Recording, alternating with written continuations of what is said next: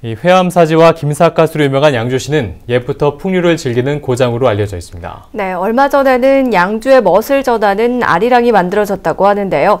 공무원들이 양주 아리랑을 알리기 위해 이색 홍보전에 나섰습니다. 김호 기자의 보도입니다.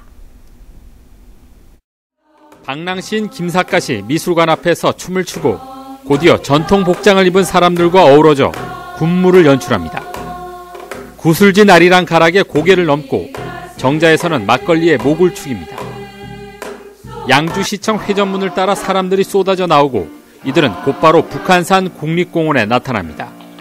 하얀 눈밭에 와이셔츠 한 장만 입은 사람들은 추위도 아랑곳하는 채 아리랑 가락에 춤을 춥니다. 흥겨운 우리 가락과 함께 만들어진 UCC 영상은 모두 양주시청 공무원들이 직접 제작한 것입니다. 얼마 전 만들어진 양주 아리랑을 알리기 위해 시청 직원들이 직접 나선 것입니다. 시민들에게 알리기 위해 공무원들이 먼저 알아야 한다는 사명감에 어려운 아리랑 가락을 하나하나 배우기로 한 것입니다. 그 아리랑 장조 부분이 좀 많이 어려웠고요. 그걸 저희가 좀 가요 부분도 아니고 아리랑이다 보니까 좀 따라하기도 어렵고 박자 타기도 어렵고 이런 부분이 좀 많이 있었습니다. 하지만 여러 번 반복의 반복을 거듭하다 보니 노랫가락은 귀에 익숙해지며 자신감이 붙기 시작했습니다. 노래가 입에 붙자 욕심이 난 직원들은 결국 UCC 영상 제작에 나서기로 했습니다. 전통 의상을 빌리고 소품도 직접 만들었습니다. 근무가 끝난 시간 짬을 내 회의를 거듭하며 UCC 제작에 열의를 높였습니다.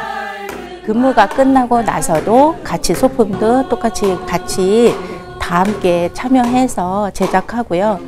어, 힘은 그렇지만 서로 도와가면서 서로 배려하면서 즐겁게 임했습니다.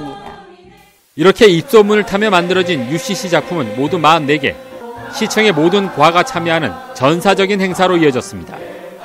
양주시는 제출된 UCC 영상을 적극 활용해 양주 아리랑 홍보에 나서기로 했습니다.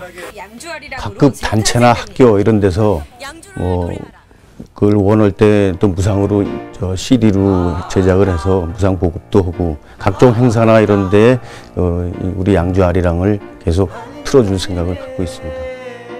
또 제출된 작품에 대해서는 다음 달 UCC 조회수와 심사를 통해 최우수 팀을 뽑아 시상할 예정입니다.